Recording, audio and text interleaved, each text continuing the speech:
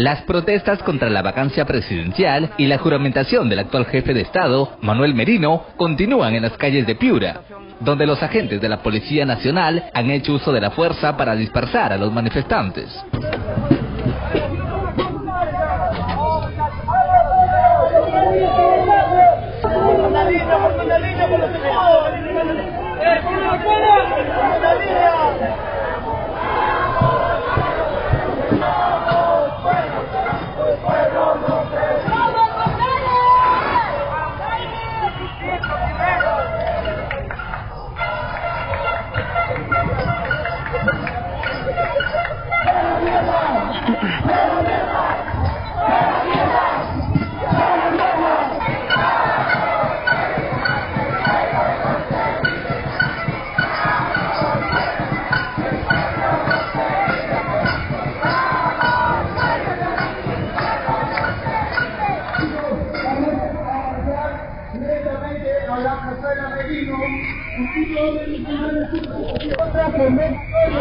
Mañana tenemos que hacer más.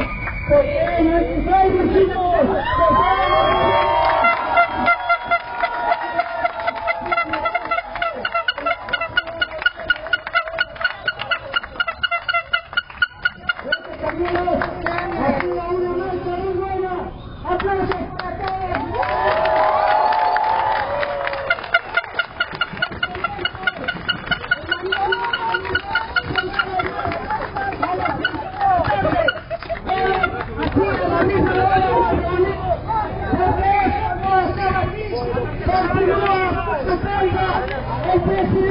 Necesario, chicos.